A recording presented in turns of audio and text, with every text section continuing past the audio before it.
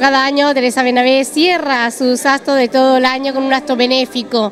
Has tenido un año de muchas convocatorias, con muchos eventos y mucho público, claro que sí, porque ya todo lo que organiza es a lo grande, lo hace también. Ya llevamos muchos años conociéndola y sabemos todas las cosas bonitas y presentaciones que ha hecho de productos, de bueno, de vino, de, de todo, ¿no? Y hoy es algo muy especial, ya que se aproximan las Navidades y todos somos como más solidarios, ¿no, Teresa? Eh, buenas tardes, encantada de verte de nuevo, Elena. sí, por supuesto, ya no solo por Navidades, es que labores tan importantes como por ejemplo la de Tierra de Hombre hay que apoyarla. A mí, eso de que vayan a por niños que necesitan, que depende su vida de una operación y que consigan traerlos a España, operarlos y devolverlos a su familia, pero con una salud ya desbordante y dándole la vida es algo tan bonito y sabiendo que hay una seriedad detrás de ellos, muchos años de lucha porque cada vez consigan más niños una vida mejor, precioso. Eh, los pequeños son los más desprotegidos, ¿no? Porque ya, bueno, cuando hablamos de los adultos, pues sí, que hay muchas personas pasándolo mal, pero los niños es que no tienen cómo defenderse. Y más la salud, que estamos hablando de algo tan que lo damos por hecho, pero un niño que dependa de nuestra generosidad, que ese niño viva o muera, me parece algo y enhorabuena a todo el equipo de Tierra de Hombres por, y todo lo que podamos hacer por ellos, tanto Gran Melea Don Pepe como nosotros. ¿Cómo lo conociste tú? ¿Cómo llega aquí? Yo es que la presidenta la conozco desde que era un bebé. Sí, y entonces he sabido de la trayectoria toda la vida y la verdad que cada vez me sorprendía más y ya ahora que, hay 20 niños al año que operan en Málaga, digo, ay, pues que Marbella también conozca vuestra labor, que haya muchas sinergias y puedan pues también aportar, que en Marbella somos muy generosos y tenemos nuestra parte solidaria muy importante. Eh, me gustaría, ya que estamos ya finalizando el año, que me hicieras un balance de cómo ha sido el año para ti, con tus eventos, tus proyectos. Para mí ha sido un año maravilloso, 2016. Nació el hombre de mi vida, o sea que con eso ya empezó. Y a nivel de Marbella he visto un año muy bueno, muchísimos clientes buenos. De, bueno, el Don Pepe, por ejemplo, de hospedarse. hemos llegado a un ratio espectacular y todos mis clientes, el Ross, el han sido un año muy, muy fructífero y muy bueno. Y Marbella todavía sigue para arriba como el paraíso en el que vivimos. Tenemos mucho. Finalizar esta entrevista, me gustaría que despidiera con un mensaje navideño para todo el mundo. Pues yo deseo que todo el mundo sea muy feliz, que tengamos un 2017 para todos maravilloso y yo espero que sí. Y feliz Navidad y muchas gracias por todo, a todos los de Marbella. Gracias, Teresa. Feliz Y muchas gracias. Hablamos con María Antonia Jiménez, es presidenta de esta asociación de ayuda Tierra de Hombro que ayuda a muchos niños con enfermedades y que hacéis posible salvar muchas vidas. Buenas tardes. Hola, buenas tardes. Lo primero, agradecer al Hotel Meliá, a Rocío Galán, a la directora, que nos ha abierto las puertas de este magnífico lugar para celebrar un poco la Navidad con, con nuestros niños, ¿no? intentar ayudar a esos niños que están más para allá de nuestra frontera, de países muy pobres y que necesitan de nuestra ayuda. ¿Cómo comienza este proyecto? Tierra de Hombres nace en España hace 20 años, pero en el mundo hace 60 la fundó un periodista, el movimiento Terre de Son, y es un movimiento para ayudar a la infancia allí donde esté, con diferentes programas. Trabajamos mucho la salud materno-infantil, la protección, la asistencia jurídica a menores las crisis humanitarias y luego tenemos un proyecto muy bonito que se lleva a cabo en Málaga.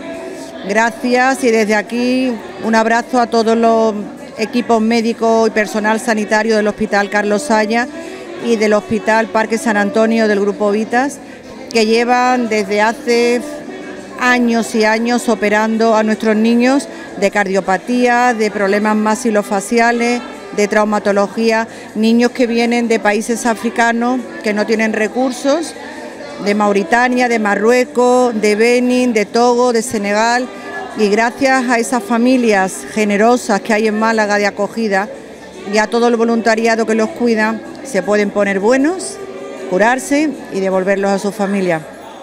Me gustaría que hicieras un llamamiento para todas las personas, ahora que tenemos ese espíritu navideño, de generosidad, que debería ser todo el año, pero bueno, vamos a hacer hincapié qué, qué es lo que más necesitáis eh, hoy por hoy, prioridad. Desgraciadamente, bueno, nos hacen falta siempre voluntarios, familias de acogida que acojan a estos niños y por supuesto donaciones. Donaciones porque eh, aunque tenemos los equipos médicos que son de forma altruista y los hospitales todo el programa necesita un aporte económico para trasladarlo, para hacer todo lo documentación, los visados, los seguros. Entonces eso tiene que ser a base de pequeña donación y que nadie piense que, que no va a valer lo poquito que, tenga. Da igual lo que sea. Para Tierra de Hombres no hay cantidad límite, cualquier donativo que quieran hacer, porque yo creo que es de justicia, ¿no? O sea, estamos pidiendo algo que es justo para para niños que solo han tenido la mala suerte de nacer en países pobres, ¿no? Y no tienen una sanidad pública como tenemos aquí, ni una educación. Y tenemos que dársela. Entonces, es un acto de justicia para ellos. Creo que la Navidad puede ser un momento bueno para, intentar ayudar a, nuestros pequeños. Muchos granitos en una montaña. ¿Cómo hay que ponerse en contacto con vosotros? A través de nuestra página web, todo el que lo simplemente poniendo Tierra de Hombres saldrá la página, ahí están todas las formas de, colaborar, de ayudar y, estaremos dispuestos a, atenderles si llaman telefónicamente porque se pueden ayudar de muchas formas, que tenga una empresa, hay mil maneras de, poder poner ese granito de, arena y una vez que hablemos nosotros le podemos aconsejar. Pero sí que es cierto que los niños son niños del mundo, que los niños que tienen hambre son niños indefensos son niños que viven en países donde sus familias no tienen recursos, los niños que viven en esos países donde no hay una vacuna o donde no hay un antibiótico se van a morir y se mueren 10.000 niños al día. por enfermedades y por una mala alimentación y yo creo que, que es una responsabilidad de todos el estar ahí y ayudarles. Finalizamos con un mensaje de Navidad para todo el mundo en general. Pues le deseo a todo el mundo lo mejor en su casa, que tengan salud, que es lo más importante. A los que están enfermos desde aquí un abrazo y ánimo y adelante. Y bueno, que el mundo se construye con esperanza y poniendo cada uno un poquito de, de lo mejor que tenemos. Muchas gracias por atendernos y ojalá que estos sueños de tantos niños de salir adelante se cumplan para este 2017. Gracias. Vale, muchas gracias a vosotros. Hablamos con Laura de Los Ángeles.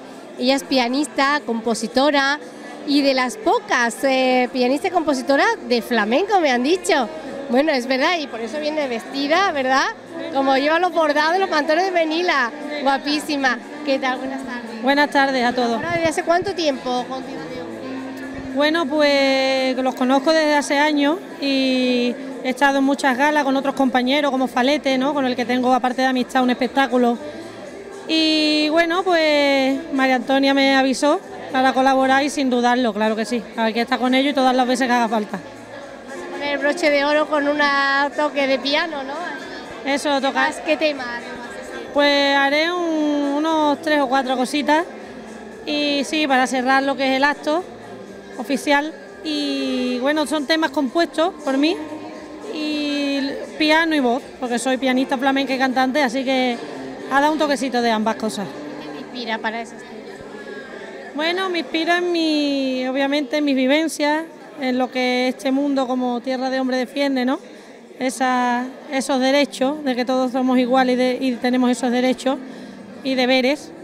Y me inspiro pues en mi tierra, Andalucía, y me inspiro en todo eso. deseando de escucharte tocar. Yo creo que en breve, ¿no? Será en breve, en cuanto acabe el acto, pues estaré con todo. Enhorabuena, de verdad, por tener ese corazón de colaboración con las causas, ¿verdad? De las personas que necesitan ayuda y lo vamos a hacer posible hoy. Gracias. Muchísimas gracias a todos. Muy buenas noches.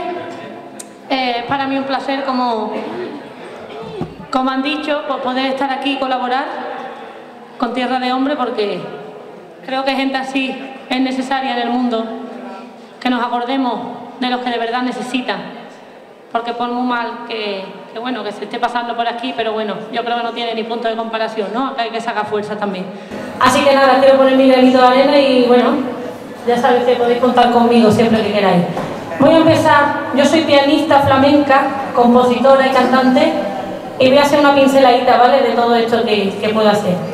Tampoco voy a cansar mucho, simplemente una pinceladita para que disfrutéis esta noche preciosa en este hotel magnífico. Y, y nada, voy a empezar con mi abuela Carmen, que era de la Alameda de Hércules de Sevilla, y me enseñó que allí nacieron muchos flamencos muy importantes y a ella le dedico esta canción, mi abuela Carmen.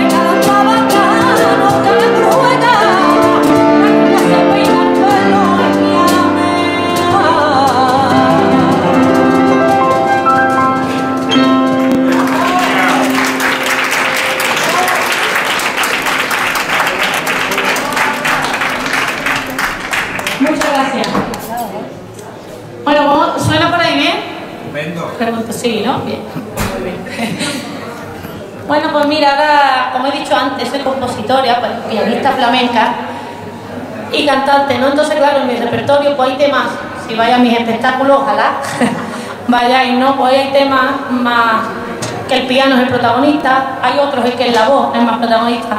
En este caso voy a hacer uno de mis últimos temas, se llama Buscaré y Creo, María Antonia, que va con mucho, con vuestra, con vuestra, ¿cómo puedo decir? Porque a, lo que hacéis no tiene nombre, ¿no? Va mucho con este mundo, que a mí muchas veces, como cuando compongo las letras, no me encantaría que fuera de otra manera, así que bueno, escucharle cada uno que piense lo que quiera, se llama Buscaré. A ver si os gusta.